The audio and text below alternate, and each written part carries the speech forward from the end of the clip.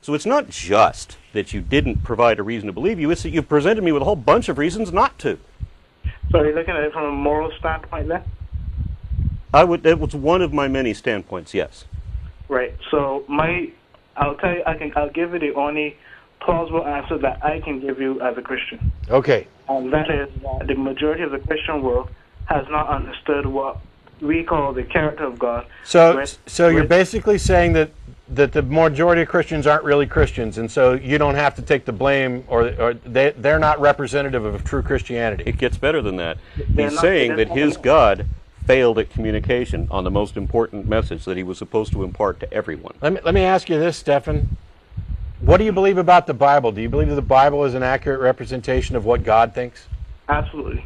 Okay, so you think slavery is moral?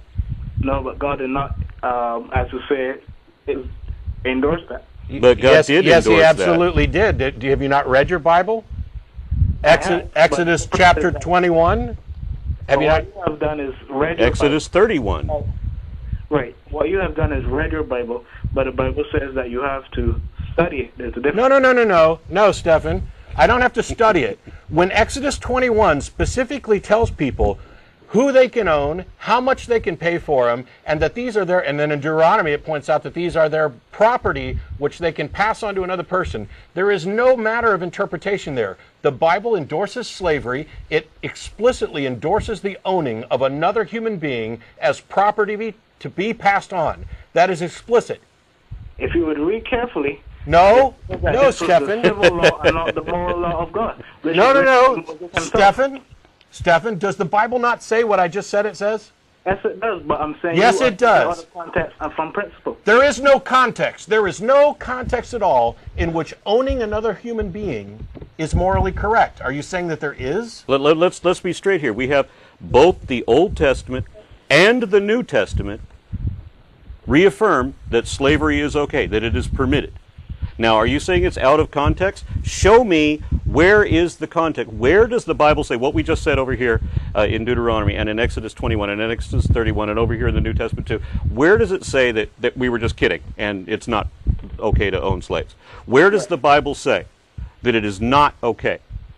Right. Earlier within the laws of Exodus and Leviticus, it was stated that there are two different laws. There is the moral law and there is the civil law. The moral law belongs to God. The civil law was established by Moses, which was written in the books next to the Ten Commandments of God. But- so those civil laws were said that those were Wait, who wrote the book? Who wrote the moral law?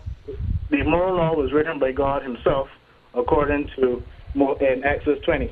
But the- According to who? according to Exodus 20, Okay, and who wrote Exodus 20? Exodus 20 is written by Moses. By Moses. Moses being the same guy who promoted the molestation of preteen children in Exodus 31. The, the guy who insisted that his followers kill women and children and keep the preteen virgins as slaves for themselves. Are we talking about the same guy? Are you, do you realize that the same God realized that this is what Israel was doing? Can you answer that question with a yes or a no?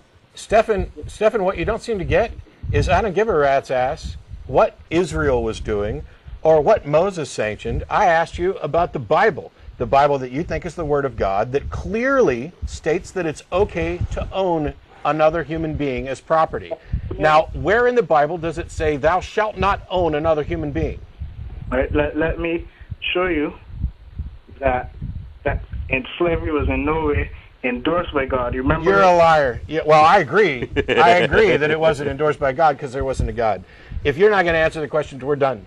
Okay, you- but it, but it definitely was endorsed by the Bible again and again and again. We've given you chapter and verse. And, and you've agreed that it's there. And all you can do is say, well, you know, that's what Israel did. Or let me assure you that I don't want your assurance. I, what I want you to do is be honest about what you believe. Yeah, and the Um, next time you want to ask this question, I, my question back to you: Can you give me a reason to believe what you do? And just answer that question with a yes or a no. And if you don't have a reason, we don't have a conversation. When you have a reason, be prepared to give it, and then I'll be prepared to consider it. Yeah. When, when you start making excuses for atrocities, you have removed yourself from any valid discussion on morals. When you say, yes, the Bible says you can own slaves, but Well, now you're contradicting yourself because before, one of the first question I asked you is whether or not you thought the Bible accurately represented the mind of God, the will of God. Um, you, you've got this conflicted mess of contradictions, and you found a way to rationalize them. You've gone and looked at that and said, "Boy, that really sounds bad," but that's what Israel was doing. That's not what God wanted. But I wanna- Well, let wanna- me let me let me ask this, even though you're not on the line. You can think about this, and that is, you believe that there's an all-powerful, all-knowing, loving God who has an important message for humanity, and He is so completely inept that His best attempts at communicate. Uh, at communicating to people managed to convey the exact opposite message of what you think he meant.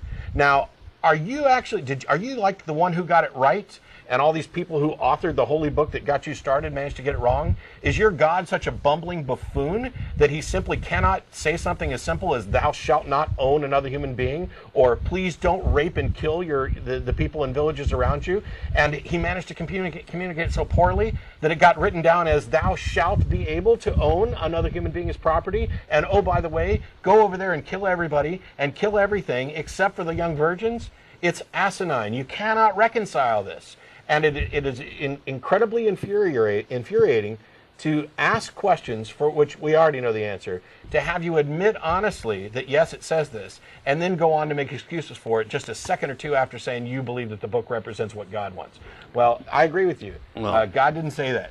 Okay, it God is all knowing, okay, and he knows the future of all events. Yet he wrote a book that can only be interpreted as as if it endorses slavery and, and heinous violence against women, against children, against your neighbors. Uh, it, how how could your God be that omnipotent and devise a book where we can't distinguish between the law of Israel and God's law? I mean, they're interwoven, where we have metaphor and fact, and nobody can distinguish the two. We don't know what is what we're supposed to take literally, what we're supposed to take figuratively. Was it actually a tree? I mean, come on. We, we can't distinguish this. It doesn't make any sense. And it doesn't matter how it's translated, and it doesn't matter what version. But if it was written by an omnipotent being, there would be one version. And there would only be one way to interpret it because it would be written well. Actually, it wouldn't be written at all.